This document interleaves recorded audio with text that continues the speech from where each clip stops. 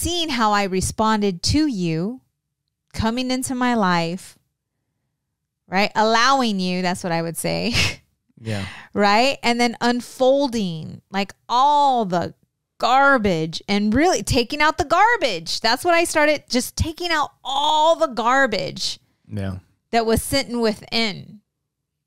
And every time something happened between us, right? Challenges, it's like, where is this coming from? There's like, there's so much. A relationship is very,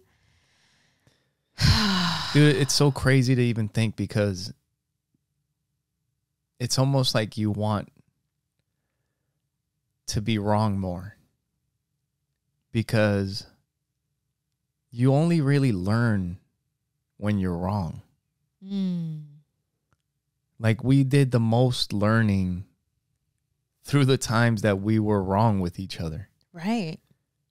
And then it's like that was fucked up. That wasn't right. Mm-hmm. I shouldn't have done that.